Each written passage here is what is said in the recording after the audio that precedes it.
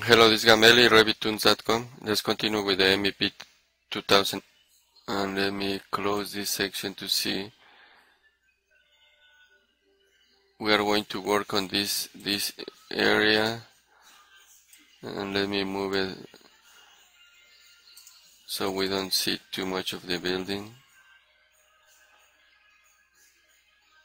So is this this area and as you see because there is no ceiling over here there is no plenum space so this will go all the way to the level 3 so it's like a double story situation uh, because we are separating the plenum space.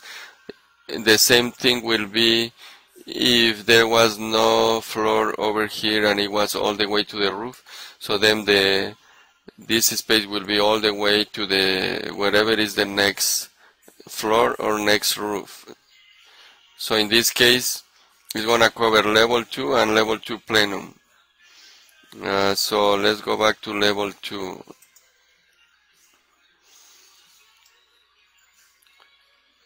and space and let's say now all the way to level 3 because there is no ceiling but if there is a ceiling we just put it back and zero offset.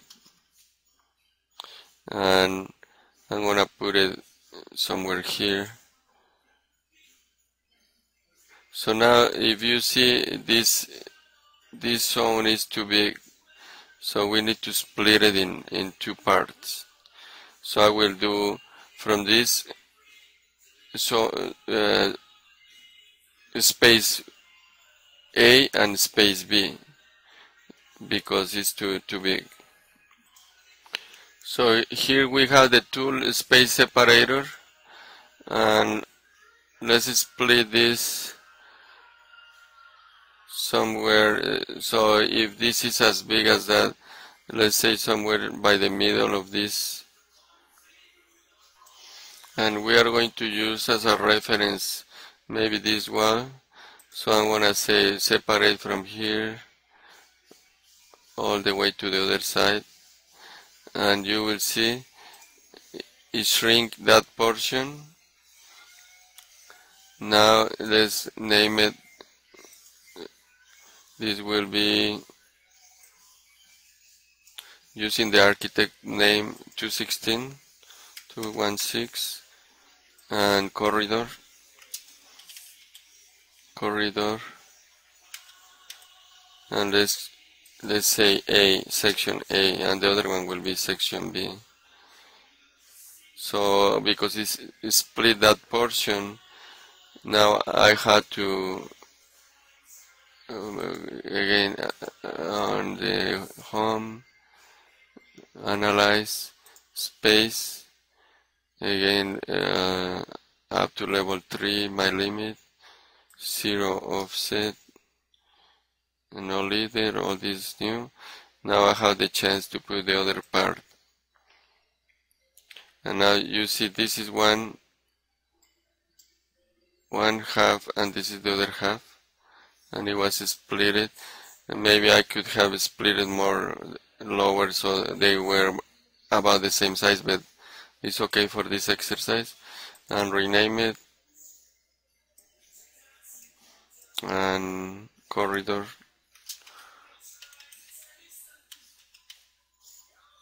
And 216b automatically has that number. Okay. And if, if we look the the section again earlier section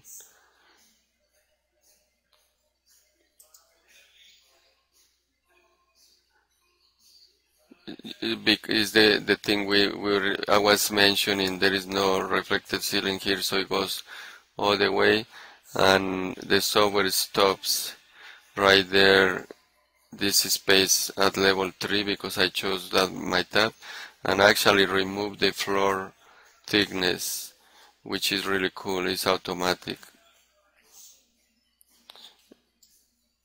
Alright now let's do another one, a multi-story space. And this is a good sample. Uh, chase a duct chase or avoid the space right here I'm gonna open this section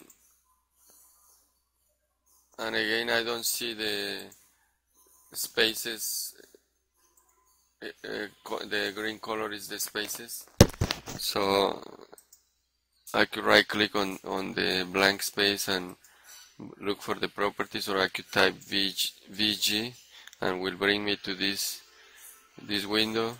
And S spaces. And again turn on the interior and turn on the reference. Say okay. So I could I could see now the space I, I was talking about is this chase. So I know it's from this level all the way to that level which is level 2 this is level let's turn it on. Level 2 to roof level. So let's go to level 2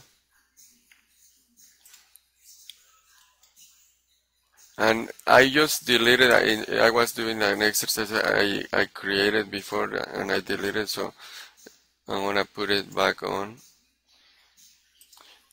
And uh, okay I should choose here. I didn't choose uh, I should choose from my, my upper level should be roof and my offset should be zero. Let's say I did care, I wasn't careful enough so I, I just did it. So I could touch it and change the properties right here upper limit level 2 uh, so that was a mistake.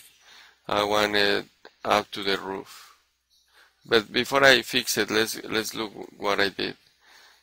So let's go to the section.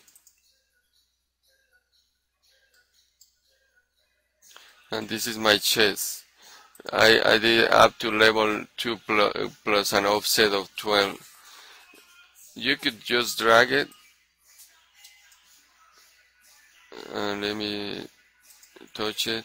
I could drag it and say as even if I go farther away look it will shrink because the calculation stops where it's finding an object right there which is the roof.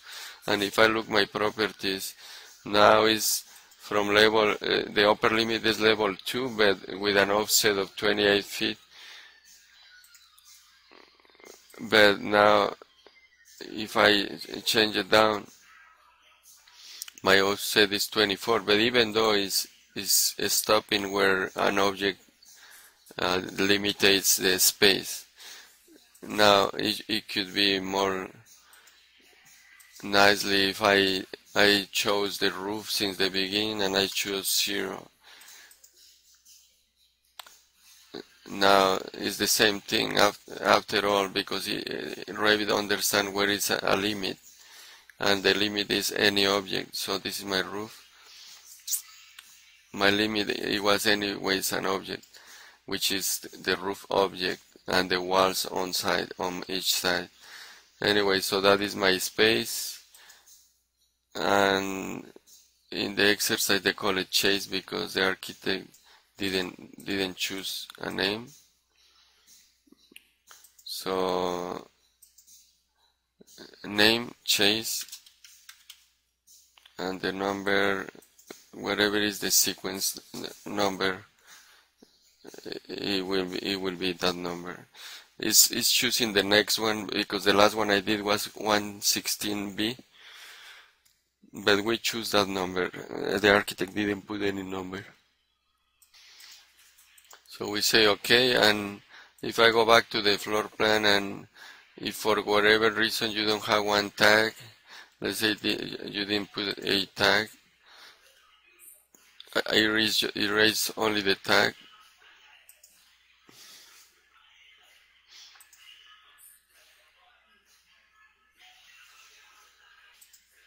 On the, the same analyze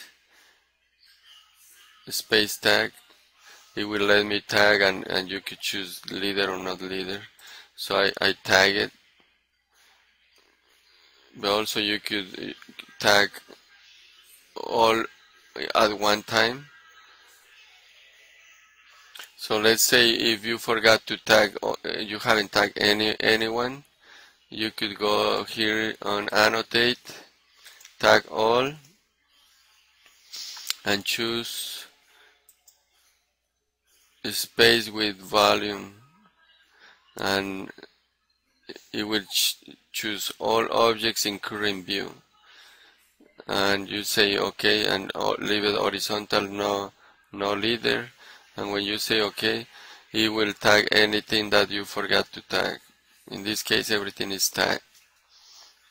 Alright? Alright revittunes.com uh, let's watch uh, the next video please